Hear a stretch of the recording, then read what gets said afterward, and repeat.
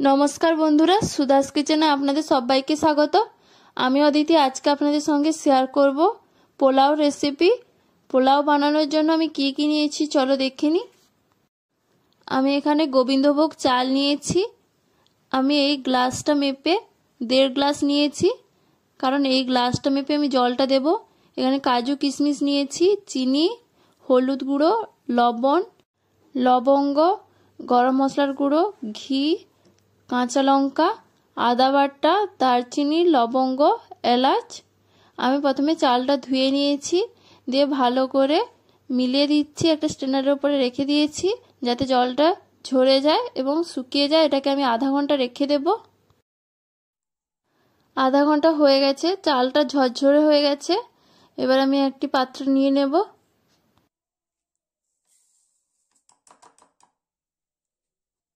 এবার এর মধ্যে আমি গরম মশলার গুঁড়ো দিয়ে দিচ্ছি। গোলমরিচের গুঁড়ো। লবণ পরিমাণ মতো।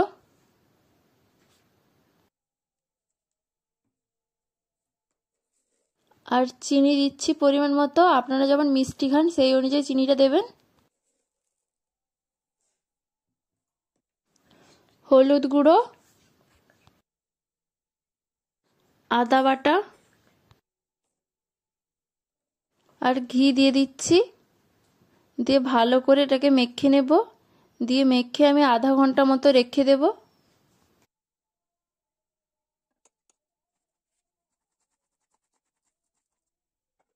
আধা ঘণ্টা হয়ে গেছে, আমি কড়াইটা বসিয়ে দিয়েছি, এর মধ্যে ঘিটা দিয়ে দিচ্ছি।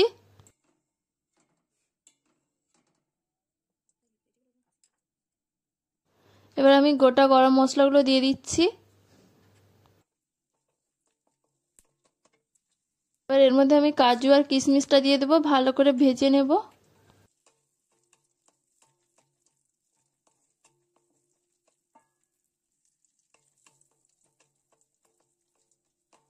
এবার আমি এর মধ্যে আমি চালটা দিয়ে দেব, দিয়ে কিছুক্ষণ এটাকে ভেজে নেব।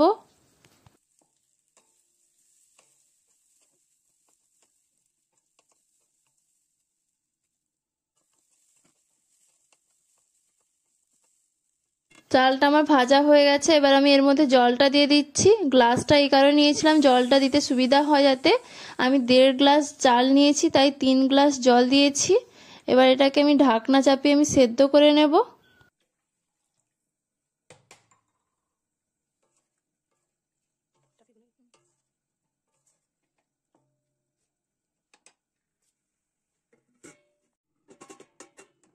আমি ঢাকনাটা খুলে দেখে নিচ্ছি, পাঁচ মিনিট হয়ে গেছে। এবার এর মধ্যে আমি কাঁচা লঙ্কাটা দিয়ে দেব। তারপরে ঢাকনা চাপিয়ে আমি চালটা সেদ্ধ করে নেব।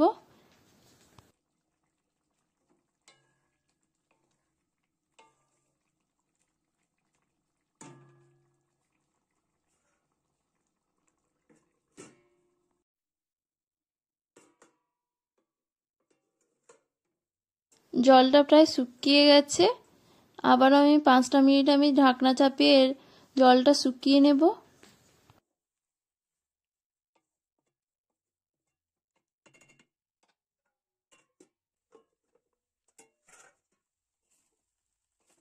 চালটা আমার সেদ্ধ হয়ে গেছে। এবার আমি এটাকে এইভাবে পাঁচ মিনিট ঢাকনা চাপিয়ে রেখে দেব। গ্যাসটা আমি বন্ধ করে দিয়েছি। গ্যাসটা বন্ধ করে ঢাকনা চাপিয়ে রেখে দিলে চালটা ঝরঝরে হয়ে যাবে, পোলাও যেভাবে হয়। দেখতেই পাচ্ছেন পোলাওটা কতটা ঝরঝরে হয়েছে। এবার আমি একটা প্লেটে বেড়ে নিচ্ছি।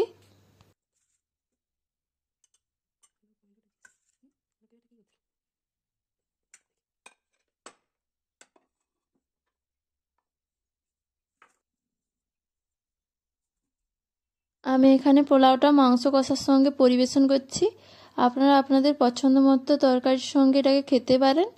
যদি ভিডিওটা ভালো লাগে তাহলে লাইক করে দিবেন কমেন্ট করে জানাবেন কেমন হয়েছে। আর চ্যানেলে যারা নতুন বন্ধু প্লিজ চ্যানেলটিকে সাবস্ক্রাইব করে দিবেন।